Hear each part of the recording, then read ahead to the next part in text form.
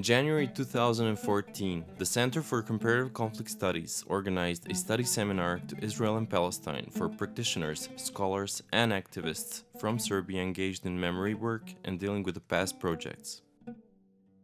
The seminar explored concepts of collective memory and memory work in societies in and after conflict.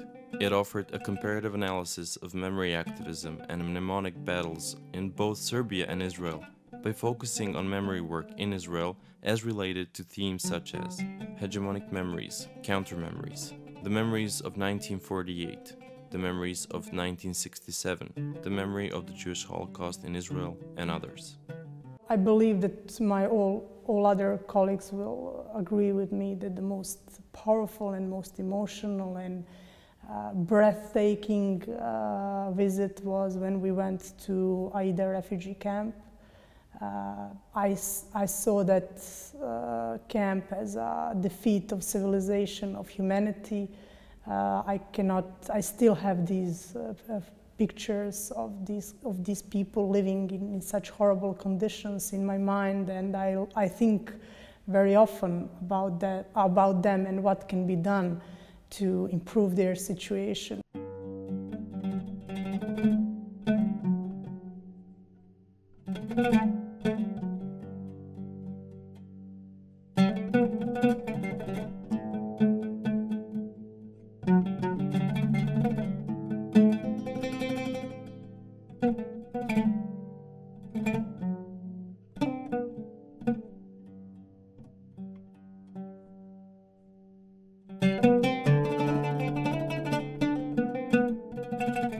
Seven day study seminar focused on memory struggles within the context of a society in conflict and allowed participants to engage with questions of memory battles in Israel and reflect back to their work and mnemonic battles currently taking place in Serbia.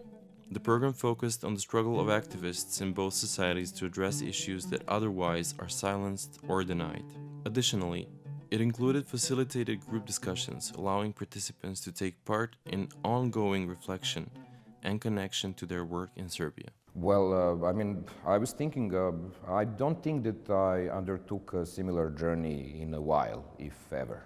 And the level of organization and uh, the versatility of the things we had seen uh, is, uh, well, I guess unique. Uh, we saw so many different places and heard so many different stories and seen so many different perspectives. Um, I can hardly imagine that there is a comparable program which could show Serbia in the same, uh, in the same light. And this is something I found truly, truly, truly astonishing.